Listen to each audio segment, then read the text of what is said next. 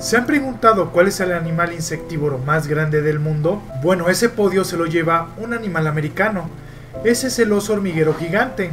Por lo que aprendamos de este singular mamífero, estás en City Animal, un canal de YouTube donde aprenderás muchas cualidades y animales únicos, por lo que es un motivo para que te suscribas ya que aprenderás cosas inimaginables. Comencemos con el video.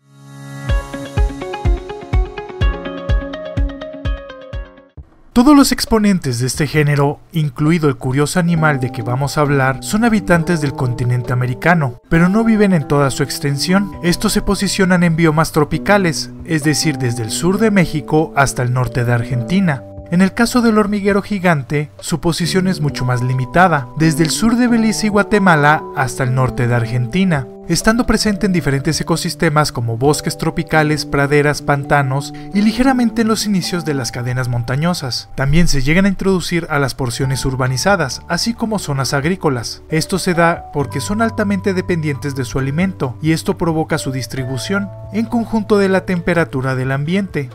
Estos singulares mamíferos comparten ciertas características. La primordial es que carecen de dientes y sus bocas son sumamente pequeñas.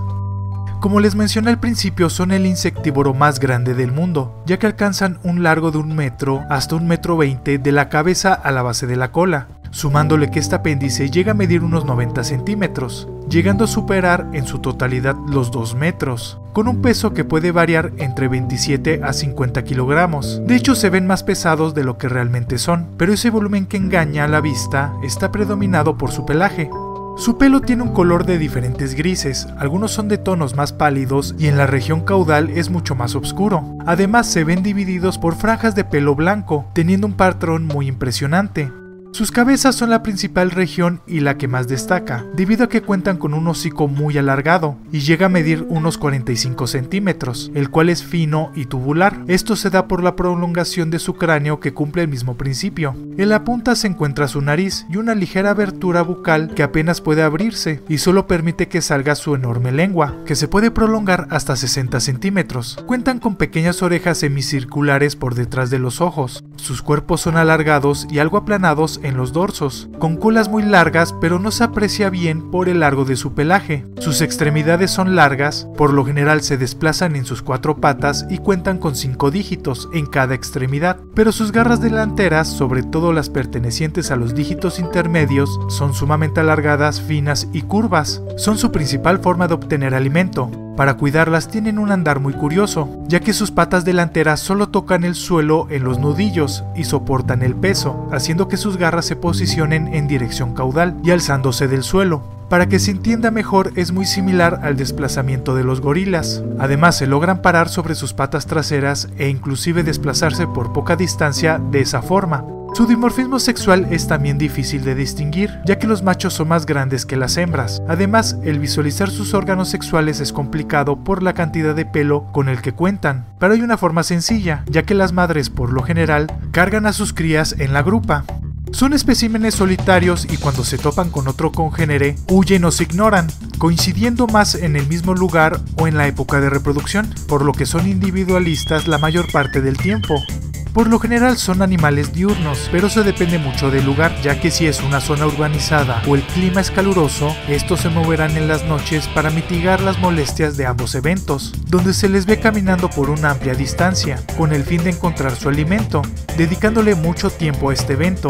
Por lo general son terrestres, donde se desplazan lentamente y por el acomodo de las patas delanteras andan de forma curiosa, ya que se van inclinando a los lados. Ya si lo requieren se movilizarán rápidamente, pero los cuerpos de agua grandes no son un impedimento ya que nadan muy bien. Uno puede pensar que son escaladores, pero casi no recurren a esto, primordialmente por su tamaño, ya que casi no requieren de hacerlo.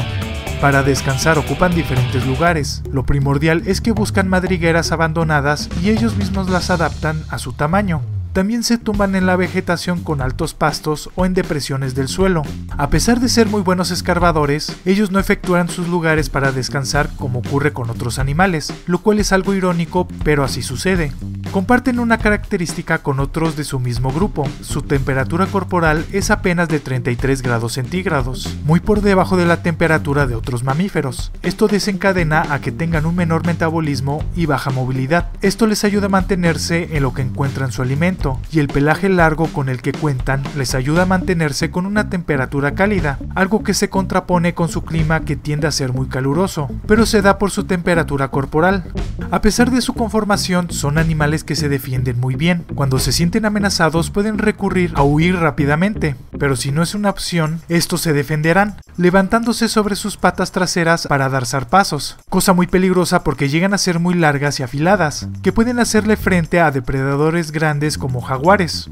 Por lo general tienen un territorio de 40 kilómetros cuadrados, los cuales delimitan con sus desechos, pero son altamente tolerantes con otros congéneres, así que hay muy pocas peleas entre ellos.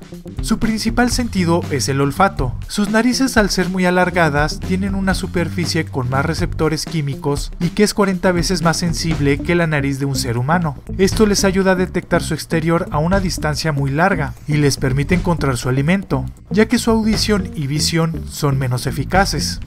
Como su nombre lo indica y como se dijo al principio, son animales insectívoros que se han especializado en el consumo de un solo tipo, artrópodos con la capacidad de crear grandes colonias en el suelo, es decir, consumen una gran cantidad de hormigas y termitas, las cuales se refugian en estructuras que ellas mismas crean, llamados hormigueros y termiteros, que son muy rígidos. Pero el oso hormiguero gigante se vale de sus poderosas garras para abrirse paso hasta el núcleo, que es el lugar con una mayor cantidad.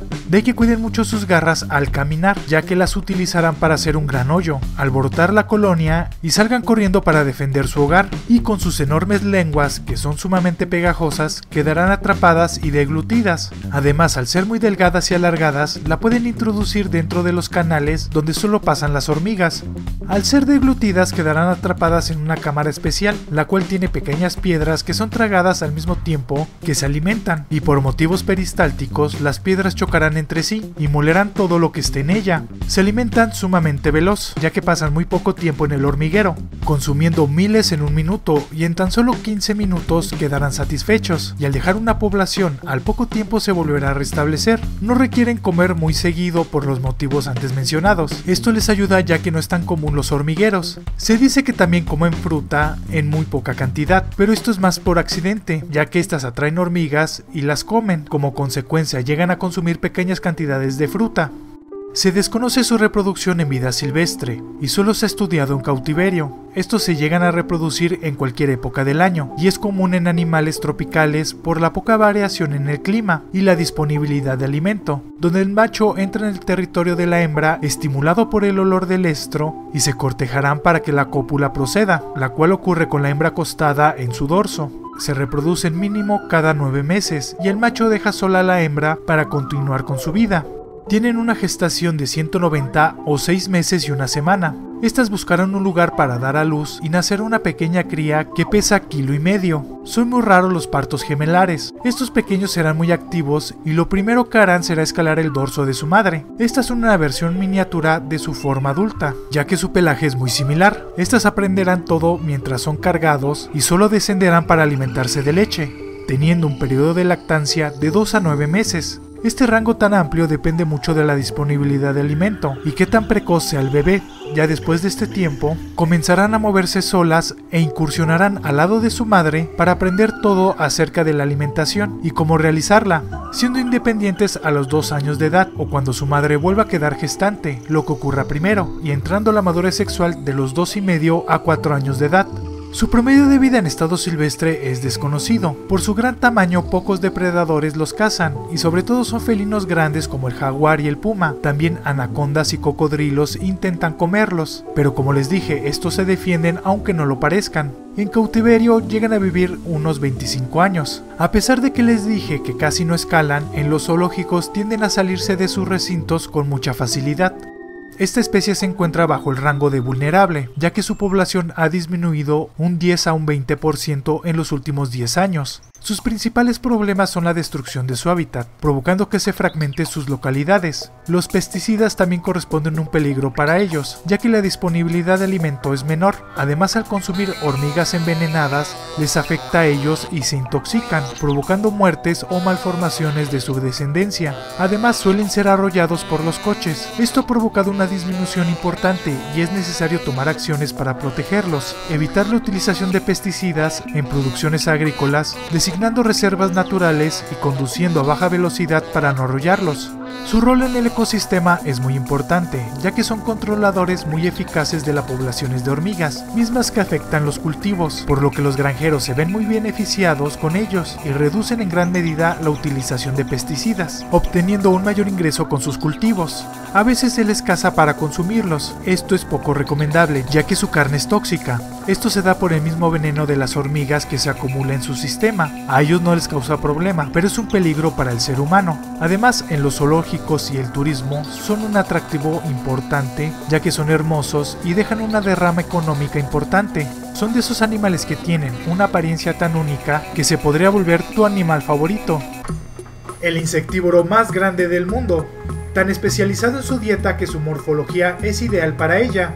Parecen torpes pero solo es su apariencia, los cuales ayudan al ser humano sin que ellos se den cuenta, por lo que es necesario cuidarlos e inclusive se podrían utilizar en la región para los agricultores.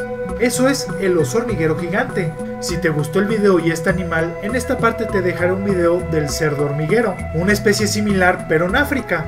Aquí podrás ver nuestro último video publicado. Si quieres aprender más de animales y ver diferentes documentales, suscríbete, no te arrepentirás. Y pásate a mi canal City Gamer, donde verás juegos únicos y tenemos directos donde podemos platicar. Nos vemos en un próximo video.